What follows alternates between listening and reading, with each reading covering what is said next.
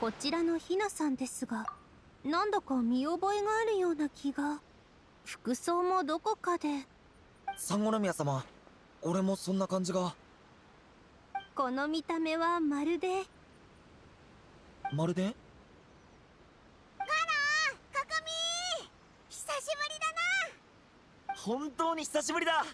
旅人パイモン。お会いできて本当に嬉しいです先ほども忍さんのところでお二人を探していたんですよ。ま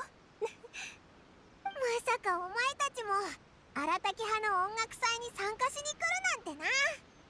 大したことじゃない。この前月間幹事でこれに関する相談を受けたから力を貸してやろうと思ってな。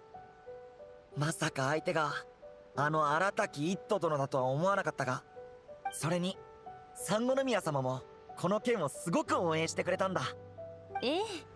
異国由来のロック音楽祭というからにはきっと観光客を大勢招くことができるでしょそれに命という主題もなかなか有意義です。テーマは戦場に現れてた犬だって聞いてるぞ。でもその犬はただの噂だったみたいなんだ。お前らこのことについて。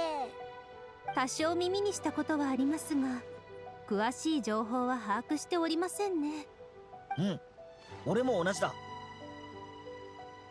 即答かよ。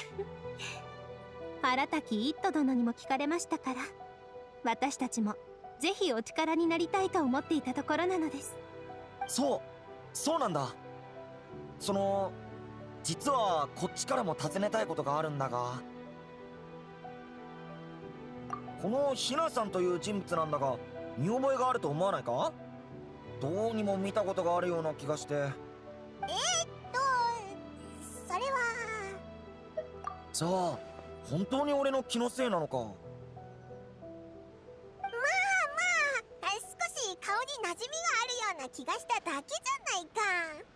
旅人だってお兄さんとよく似てるしな。よくあることだし全く気にする必要ないぜ。なるほど。それも一理あるなビビとさっさとここを離れようぜ。